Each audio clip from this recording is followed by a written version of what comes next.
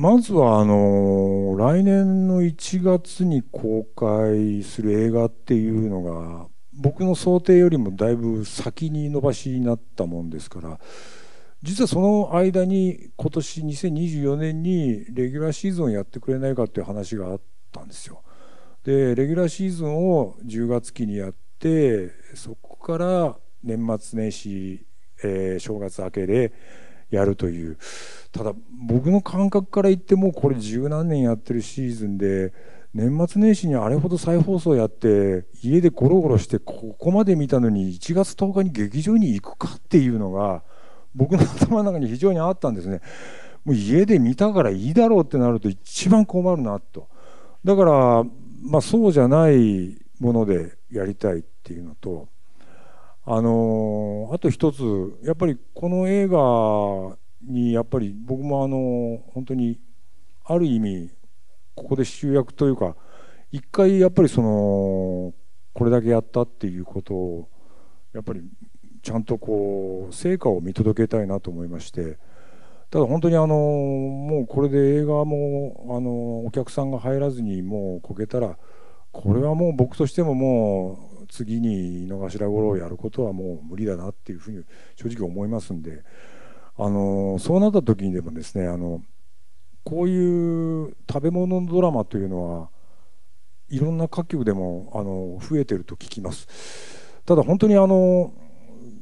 やっぱり食べるっていうことは、えー、まあ本当に本能に関わってくることですし、えー、無理をする部分っていうのは絶対出てきます。で演者が無理するっていうことだってあるしある意味僕があの今までやった、まあ、中で松重は全部食べてるらしいよとか、うん、おかわりするらしいよとかっていうのはあの本当にそういうやっぱり噂はやっぱり流れてしまうしでもあんまりもし今後こういうことをやるこういうグルメドラマとかをやる人が苦しいような世の中になると僕の本意ではないんでできればそうじゃない形ででもドラマ作れるこういうドラマ作れるっていうことも僕が現場にいながら、えー、っと確認していきたいなと思いましてでそれぞれの孤独のグルメという形で前からやろうとは思ってたんですけども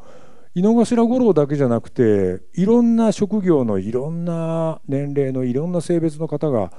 えー、仕事で何かこう孤独感の中から、えー、ちょっと、えー、なんか辛い思いがあったりいろんなことを考えてお腹が空いたって言って店を探して美味しいもの食べてああ楽しかった、うん、美味しかったさあ頑張ろうっていうそういうものをいろんな職種の方に焦点を当ててやってみるとは面白いんじゃないかと。あのー、本当に僕あのー、いろんなところで言ってるんですけどもあの自分が出た作品ほとんど見ないんで自分よく分かってなかったんですね。で今回あの自分を嫌というほど見直しまして本当に嫌というほどもうあのダビングの時なんかもう本当に嫌になるぐらい見たんですけども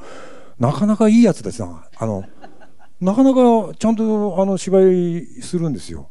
だからあの編集も楽でしたし、ええ、器用な役者さんだと思いますね。はい。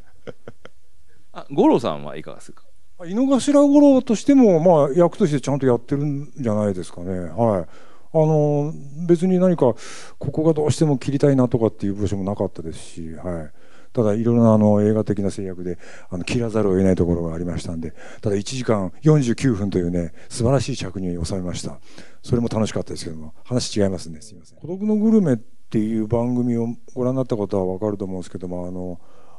井の頭五郎が腹が減ったって言ってポンポンポンポンって絵が引いていくあの印象的な毎回あるあのカットがあるんですけどやっぱりそこで大風呂敷をあの広げたいということでどこでやったら一番映えるかなと。エッフェル塔だろうと。それをプロデューサーの古郡君に、えー、言ったら「無理無理無理無理無理無理無理無理無理無理。無理ですよ無理ですよ。今の海外無理ですよ」っていうことなんですけどもなんとかしてくれたんですよ。それでなんとかしてくれたんでねやっぱりあの本当にあの最高の天気の中で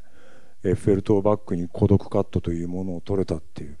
それが本当にクランクインだったんで非常に幸先のいい、えー、スタートを切れまして、えーまあ、そこからもうとにかくフランスだなフランスから始まるんだなっていう物語っていうのが、まあ、そこがあの、まあ、いろんなものそこに冒険と恋が入ってればもう劇映画として言うことないんじゃないかなと思いますけど。